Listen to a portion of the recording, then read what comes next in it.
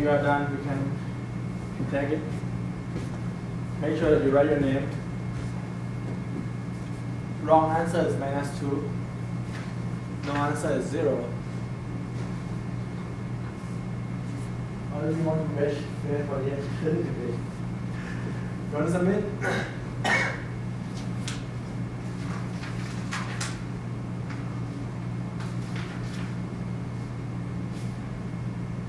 Of course, it's too easy. Everyone of you get it right?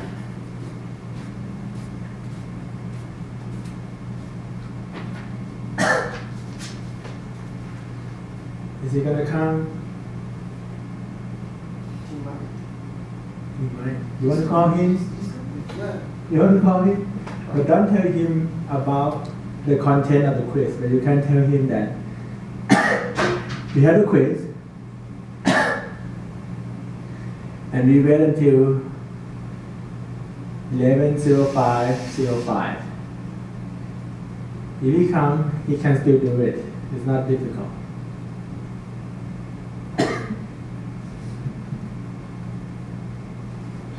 Any other question? Did you do homework yet? Victor, did you finish? Not yet? What's that? Something for the week. Stopping for the weekend. Okay. For those of you who are my advisee, you meet tomorrow. Okay. Submit the progress report. 35 seconds, yes. Did you tell him? Probably he won't make it.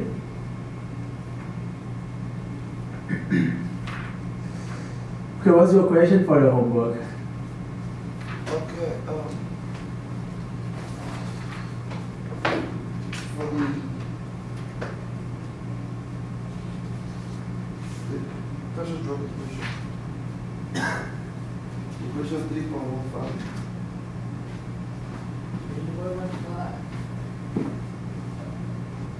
So he's late for class.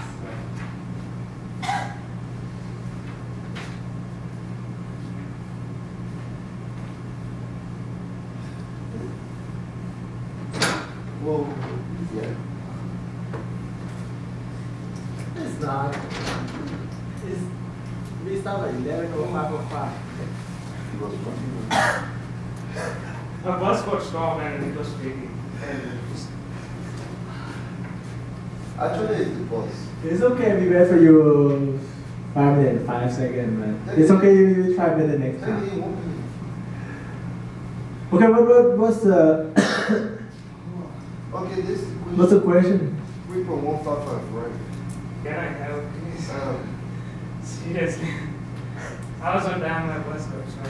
I, I got sir, sick. you was in at 11 05 20, about 15 to 20. You're about 10 seconds something. It's okay. We, we, we will have it next time for you to come and take it. Or we may not need to have it next time because we have many of them already. yeah. Do you want to have the quiz next time? Give me just one minute, uh, that's fine. One minute. It won't be fair for those who come to class on time. Okay, what's, what's your question for the homework? It's not won't, it won't be fair for those who come to class on time for last year's student who also get zero memories like this. or two, two years ago, or three or four years ago. Oh. Anyone? Okay, so this equation three one three point um one five five six. When we when when I read it, it said that you can declare pressure drop in the Taylor bubble and. Okay. So that means the last three terms. 3.155. Mm-hmm.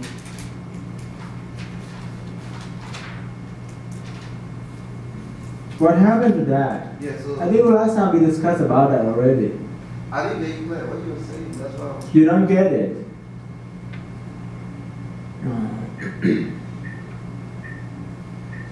this equation is valid for both slug flow and annular flow. For the case of annular flow, you can delete this term.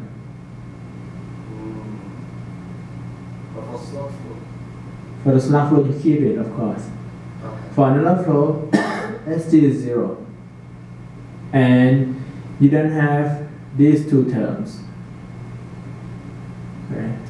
And this equation is the same as these two equations. When you add them together, okay, multiply top one with AF, bottom one with AC, add them together, it becomes this equation provided that you delete anything in the slug body region and you delete and you set SG equal to zero. You have these two terms. Tau F, AF, something. It's exactly the same. Okay, so for slug flow, like, wait, do you neglect the, Any new question? do you neglect the pressure drop in the, in the field? What is in the homework statement? Say we should calculate for slug flow, this is a. Use Sylvester. Yeah. What did Sylvester do? It said, it said, it said, it said, note that in the original Sylvester simplified model, the pressure drop calculation is only carried out only on the slug body, neglecting the pressure drop in the Taylor bubble of the. Okay, you can do that. Okay, good.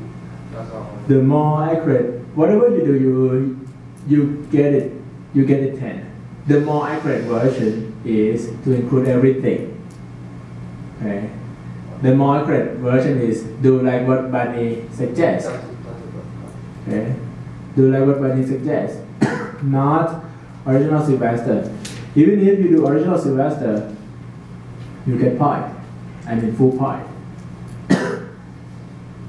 more question no more question. Let's have a let's have a quiz.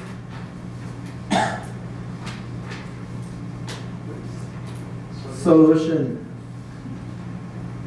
All right. To. So this is this is a flow pattern map for air and water two-phase flow with inclination angle of minus one. Okay. And I ask you all to put abbreviation of the flow pattern there. So that is this bubble flow, intermittent flow, stratified wavy, stratified smooth, and annular flow. question? Okay, no question. Alright. It's okay, yes, you're not the first one. Two years ago, we had several people like you in this in the same situation, but they all get A. Um, come to class on time and do the quiz doesn't mean that you will get A or some- anything like that. Okay, we add everything together.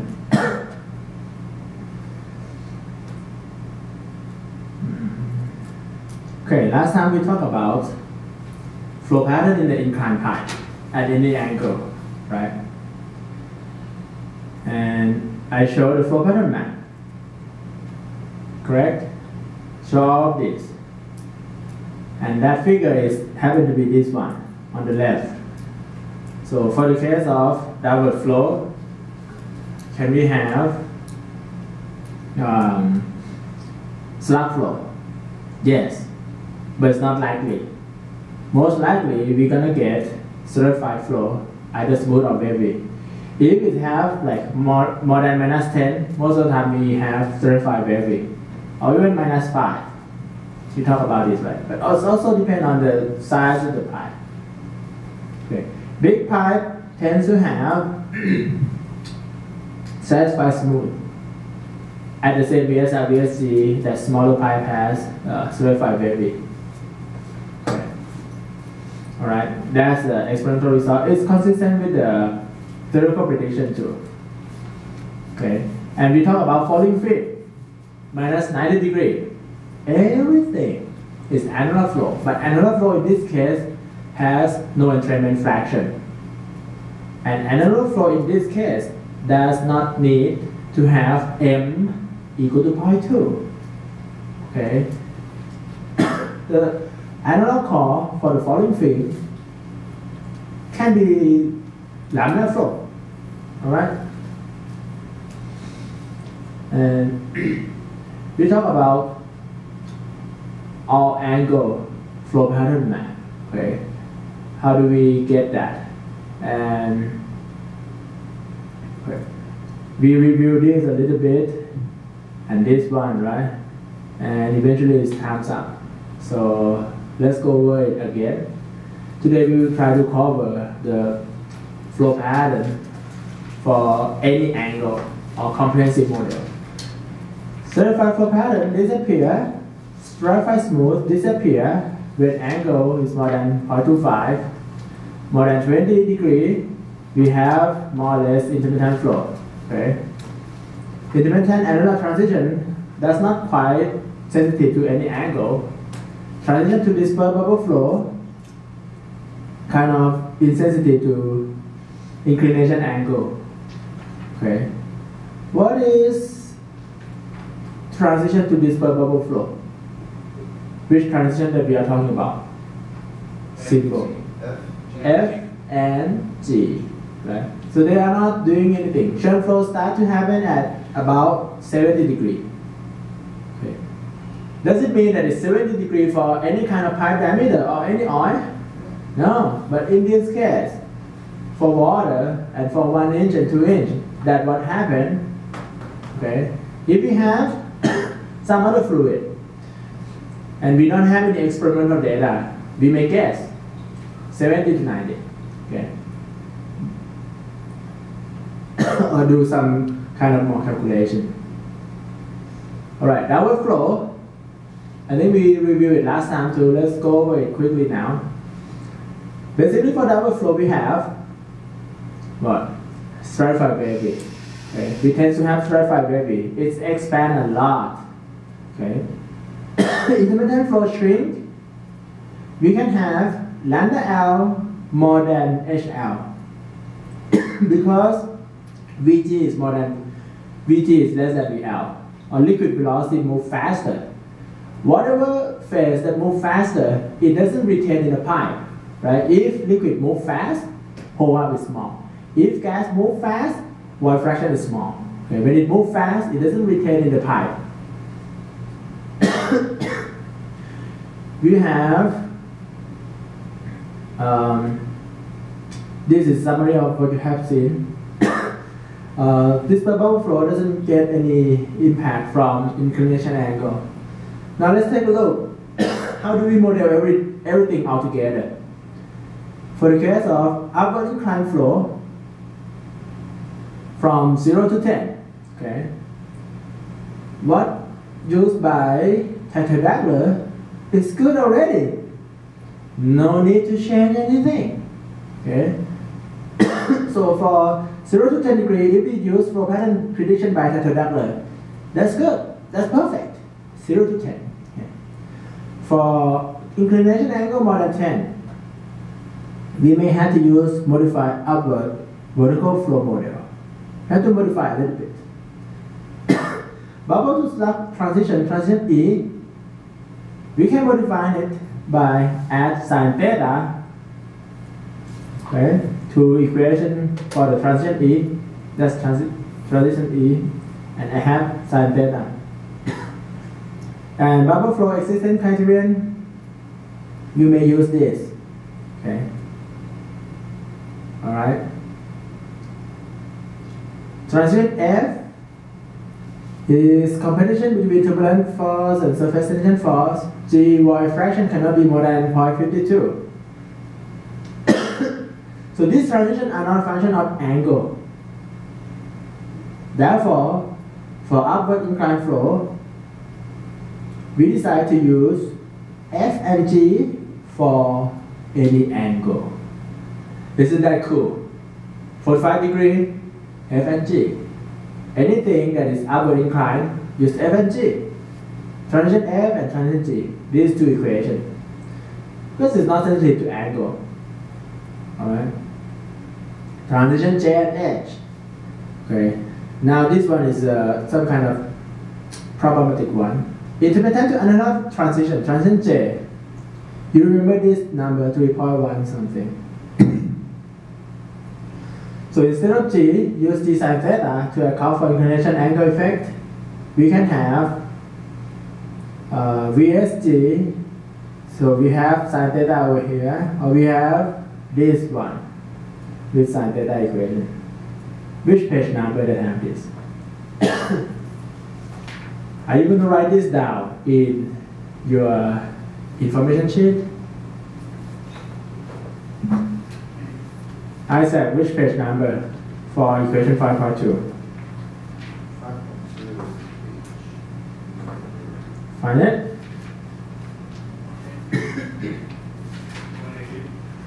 One eighty. 180, One eighty. 188. Very good. Uh, I still didn't post that 10% thing, but I will. So if you miss quiz, uh, you decide to not do well on the final exam, do that one. It's okay. Okay. All right, this is transition J with sine theta. What about transition H? Decrease in angle make phase to separate. Okay, what does it mean? Decrease in angle make phase to separate. So when we have horizontal flow, we have what? Stratified flow. So when inclination angle is low, those gas and liquid phase they are separate from each other. So this suppresses suppresses the chaotic nature of shear flow. Okay. For the first approximation, the narrow region of shear flow should be considered as part of the intermittent flow. So this means what? This model, Shoham model doesn't consider shear flow for composite model in any angle. Double incline flow. Okay. 0 to minus 10. Uh, add minus sign over there. 0 to minus 10. You Use that double. Okay. For professional transition. Except SSSW. Okay. Instead of, not, not instead of, in addition to transition C, we add transition K. From number greater than 1.5, then it's become stratified wavy. You remember that? Okay. So Taitel Dukler, original Taitel Dukler plus transition K, that is good enough already. Okay, from 0 to minus 10. Transition A can be predicted by Taitel Dukler model accurately for entire downward inclination angle. Look at that. However, at theta less than minus 10, this transition A is terminated by the transition boundary to disperse bubble flow. You have to see the picture, but okay. At inclination angle below minus 70, it is terminated by stratified to annular flow or falling film transition boundary. So basically, transition A actually work for any angle, okay? But you, when you draw it, when do we stop? Sometimes we have to stop because we have falling film. Sometimes we have to stop because there is a dispersible flow. Okay.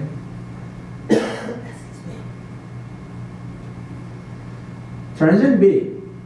So in conclusion, transition A work for any downward angle, right? And 0 to 10. That transition A.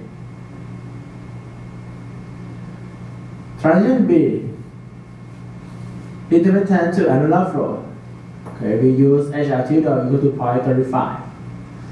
Note that transition B is valid only when stratified flow is unstable. It is terminated by stratified, non-stratified boundary at moderate inclination angle. Okay. For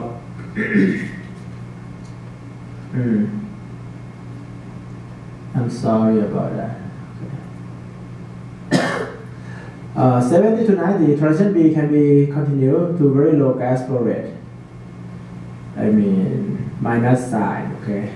I missed that because we are talking about downward flow. Prediction agree with experiment. Okay. Let's go back to see, or I think maybe we have it later on, okay. Minus 70 and minus 90 degree. Minus 70 minus 90. Let's take a look at 70. Where's my transition B? Okay. Transition B is this line, right? That's transition B. and it stop at, it happens when stratified flow is unstable. Okay, that is transition B. So if stratified flow is stable, we don't have transition B. What about this one? Transition B. Uh, we will show the comprehensive model again, okay, but now you see one transition B. 0 degree minus 1. Point 35 is that line. Okay, this is 0 degree. What about minus 1? Is that transition B? Is it? Is that going to be transition B? Is that transition B? Is that transition B? That's minus 10, minus 30. Is that still transition B? Minus 50. Is that transition B? Minus 70. Where's transition B? Is it that line, part of it, or what? A little bit difficult to see, right? What, what about that? Is that transition B? I, I just keep drawing the same thing that close closest to the previous picture, right? This is from 0, this is minus 1, minus 5, minus 10, minus 70, minus 80, minus 90. So where is transition B? Is that transition B? or where is transition B? Is it transition B over there? Transition B should be between this first forward and onward forward. Ah, ah, ah, okay, now we have some answer. Transition B. Okay. Fast forward, very quick. Upward model. Oh, this is just upward. Downward flow. Where's my downward flow? Oh, okay, it's here. You have upward and downward. Now I have transition J. Okay, it's a J over there in the book, right? And then transition J become that line, and transition J become that line. so that this figure is um, okay. Now we have transition J. You may notice that this transition J and the transition J that we studied before is not the same one. Okay? Is it combined with transition B or something? We'll look at it. Alright?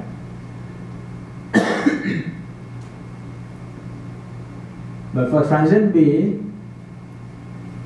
uh, it is terminated by the stratified and stratified something. We will see how we combine everything together later. Okay? Transition F and G valid for any downward. Valid for downward flow too because they are inclination angle independent. F and G.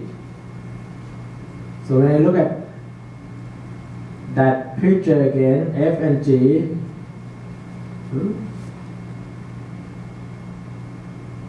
transit G, that is that line. Transit F is that line. Okay, and this is minus 90. I have, in this figure, I have transit G, transit F is over there, and I also have transit E, and I have transit B, or that line, transit B, but we may later combine it with transit J. Okay. so we have transit B, actually. Transit B is what? H altitude equals to 0.35. Okay, that's transit B. Alright, so it, it is that line. Okay, we have it. So it, it, it's good. it will be gone if we have stratified flow. Okay? And later on we will combine it. Okay, we talk about transition B, transition G. Downward flow pattern. Oops. Okay, stratified smooth to stratified wavy, we have transition K for low gas flow rate. So for the case where gas flow rate is not much, we can have stratified wavy because the gravitational effect of the liquid phase can cause the instability already. Okay? So when you flow liquid downward, because the weight of itself, it, it do this, it do the wave. we use transition C for high gas flow rate. So this is the same as what you did before, right? S equal to 0.01. So this is the same as Taitel model that we go over.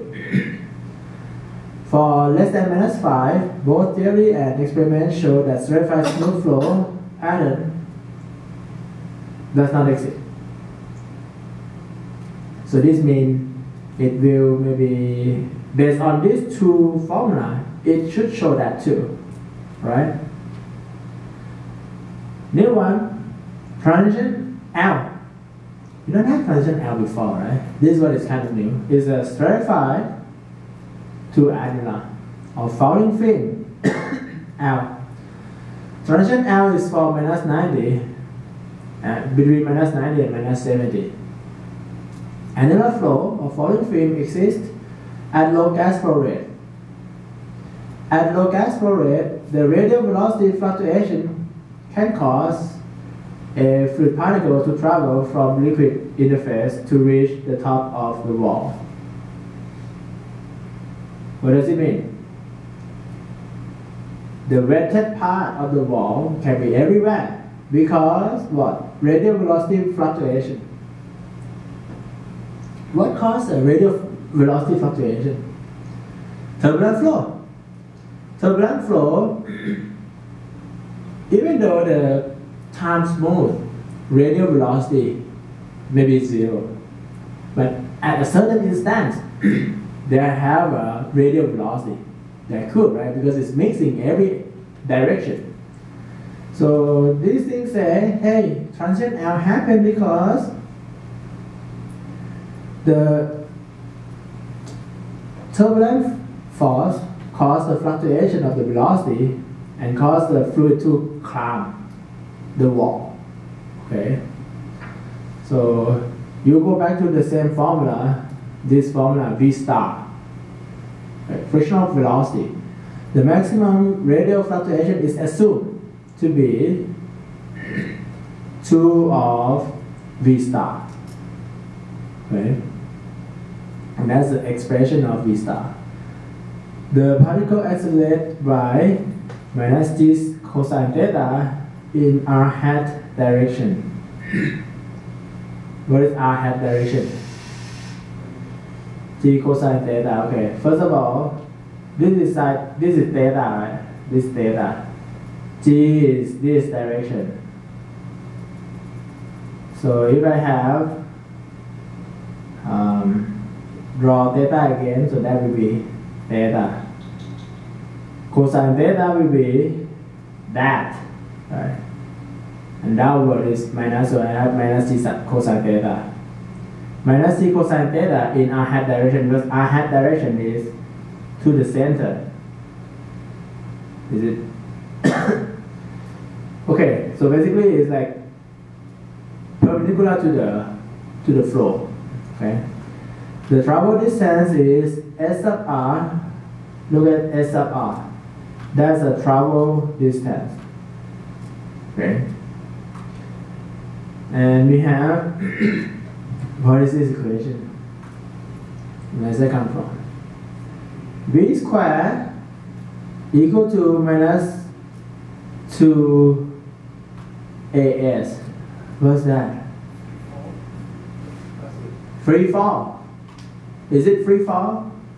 v squared equal to u squared plus 2 as. So that is constant accelerational for the moving particle, right? You may recall during high school time we have v square equal to u square. Is it this plus 2as something? Yeah, it does not A. The A will be. So a may be g, and this become minus sign, but for the free fall we don't have that. Uh, or if it start at initial velocity of zero. So this is how they approximate the travel distance. So v0 square is that vmax square. Okay? And velocity for the free fall is from that. So, and that equal to, see, v square minus u square equal to 2 as, and this is a, or acceleration term, but it's downward. Okay. Initially, is that, okay, so 2g cosine rs, uh, let me, let me erase this a little bit, too crowded.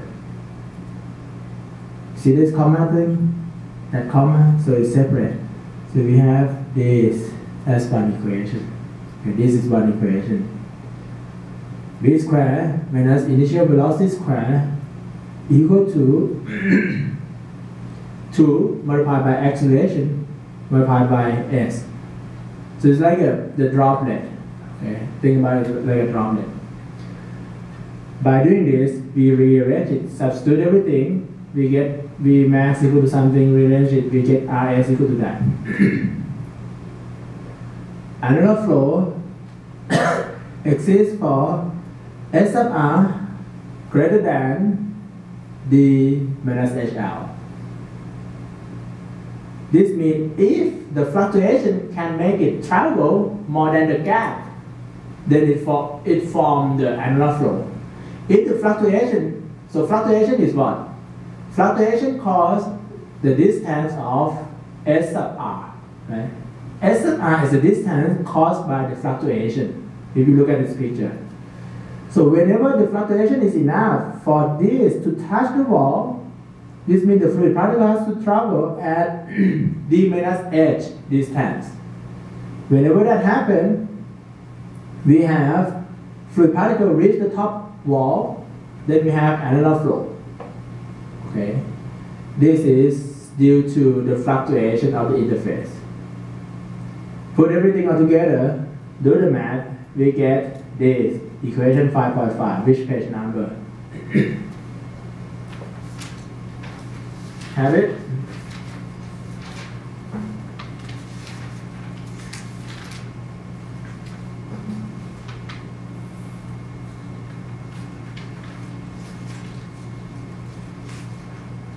Yes, no, 196, yes. Look at this equation, we have f sub L. What is f sub L? Frictional, uh, friction factor, right? It's friction factor. It's from Taitel-Dukler model. Okay. So f sub L is it the friction factor based on actual liquid velocity or superficial liquid velocity? Actual. To know actual liquid velocity, we need to know geometry first, right? Okay. So look at this comment. VL, FL, and HL, they are from equilibrium stratified model. So we use equilibrium stratified model even though it's an annular flow. This is not to calculate pressure drop, but to calculate transition. Okay. To calculate transition L, we assume that it is stratified flow first. Once we assume that it's stratified flow, like this, right? We assume it's stratified flow, right? You see that picture? It's stratified flow. Once we assume a stratified, stratified flow, we solve the combined momentum equation. We calculate capital X, capital Y, solve the combined equation. We get HL tilde. From HL tilde, we get our geometric parameter under the assumption that it is stratified flow, then we can get actual velocity then we can get actual friction factor.